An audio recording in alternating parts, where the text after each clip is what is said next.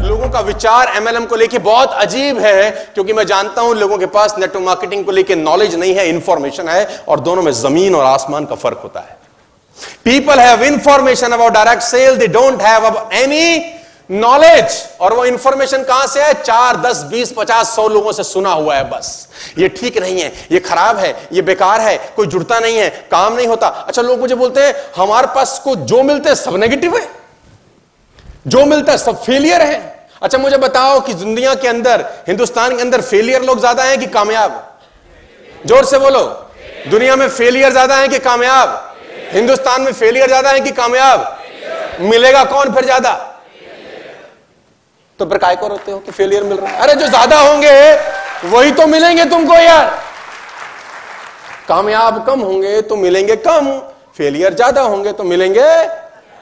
ये बिज़नेस कैसे खराब हो सकता है मुझे समझ में नहीं आया। किसी ने मुझे बोला, धंधा ही खराब है तुम्हारा।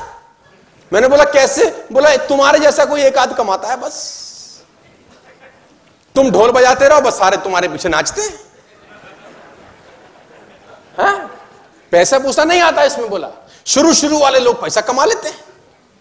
मैं आपकी जानकारी के लिए बता देता हूँ, सर 2005 में मैं नेस्विज में आया। इन 2005 सितंबर 14 I join नेस्विज retails prior to this I use to teach आपको एक हाइपोथेटिकल सिचुएशन देता हूँ। आप बताइए, आपके लिए आसान था कि हमारे लिए आसान था? मैं उस दिन भी ट्रेनिंग में किसी को बता रहा था। कितने लोग प्रॉपर्टी से बिलोंग करते हैं? प्रॉपर्टी खरीदी है, बेची है डीलर्स हैं और ये सब कुछ करते हैं। प्रॉपर्टी का काम किया है आप लोगों ने? ठीक है। अब आप चलिए 2005 में दो मिनट के लिए मैं आपको मशीन में वापस लेके जाता हूँ 2005 और आपको एक थ्री बी के बेचा जा रहा है। 2005 में आपको थ्री बी के बेचा जा रहा है, जबकि थ्री बी के अस्तित्व में नहीं है। पेपर पे बेच रहे हैं आपको। शुरू शुरू में तो ऐसे ही बेचा जाता है ना? सोसाइटी बनी नहीं है। आपको बोला जा रहा है कि फोर्टींथ फ्लोर है सर आपका। आपने बोला, कहाँ है फोर्टींथ बोला, कागज़ पे है सर। और इसकी बालकनी में सामने स्विमिंग पूल व्यू मिलेगा सर आपको। बोला, कहाँ है सर? बोले, पेपर में है सर। और जैसे ही आप स्विमिंग पूल के लिए आप खिड़की खोलेंगे, वहाँ लोग नहा रहे होंगे मस्त मस्त बोला, कहाँ है? बोले, सर, पेपर पे है सर। फोर्टीन फ्लोर, लिफ्ट खुली आपका, लिफ्ट के सामने आपका कमरा। बोला, कहाँ है? बोले, सर, पेपर पे है सर।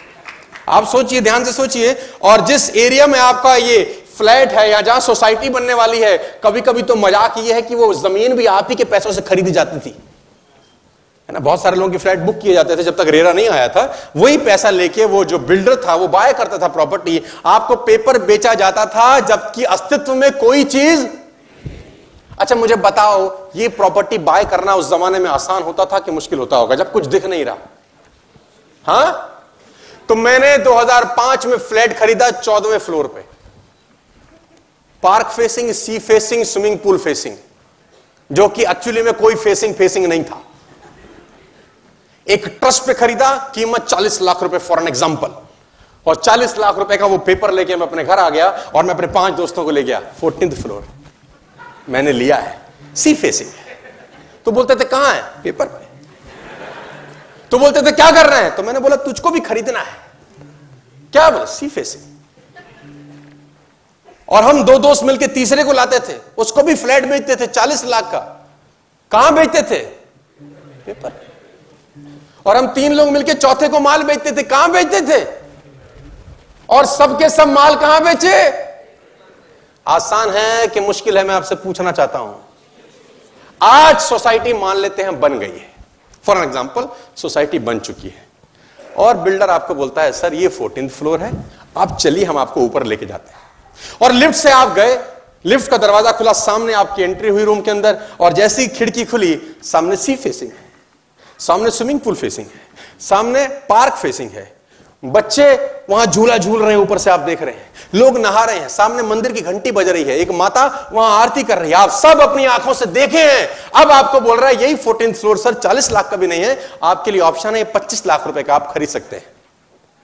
अब खरीदना आसान है कि 2005 में खरीदना आसान था। हेलो अब आसान है कि 2005 में आसान था।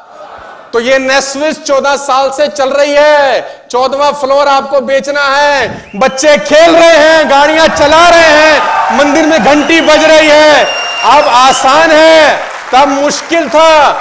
और ये रेट 40 लाख से 25 लाख हो गया। मैं बताता हूँ कैसे मैंने ज्वाइन किया इस बिज़नेस को। 8000 रुपए के अंदर फॉर एन एग्जांपल आप ज्वाइन कर रहे हैं 14000 रुपए के अंदर फॉर एन एग्जांपल आठ हज़ार का ज्वाइनिंग मेरा दस परसेंट का इन्फ्लेशन लगाओ तो अगले साल होता था नौ हज़ार अट्ठासी सौ रुपए होता था। उसमें दस परसेंट जोड़ो, करीब करीब छियानवे सौ रुपए होता था। अगर दस दस परसेंट का इन्फ्लेशन लगाते रहो तो जो अमाउंट 2005 में आठ हज़ार रुपए था, वो अमाउंट 2019 में करीब करीब अट्ठाईस हज़ार पहुंचेगा। अट्ठाईस हज़ार का माल आपको चौदह हज़ार में बेचना है। चौदवा फ्लोर दिखा सकते हो, स्विमिंग पूल में नहला सकते हो, और उसको जिम करा सकते हो, वो सब दिखा सकते हो। काम आज आसान है। आसान है कि मुश्किल है? आसान है। आप सब दिखा रहे हो ना, ये चौदह साल से कंपनी ये चल रहे मर्सिडीज चला रहे तुम भी? Now we have testimonials my difference